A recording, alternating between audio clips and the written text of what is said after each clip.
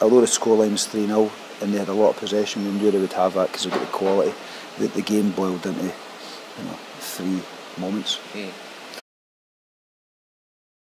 First half, we, we had some. They hit the post, we hit the post. We then give away a, a, a poor goal from a corner.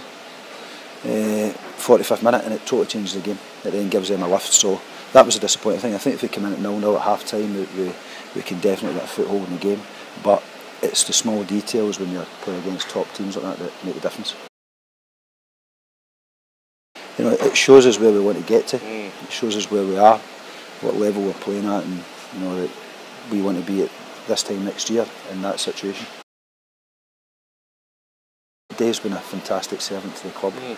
You know, he's, he's brought a lot of good memories to the, to the club here. He's got a good relationship with the, the fans and the owner and everyone, the backroom, and herself as well for the short time we've been here. So, know, I thought it was it, it was a fitting tribute to him to get on the pitch.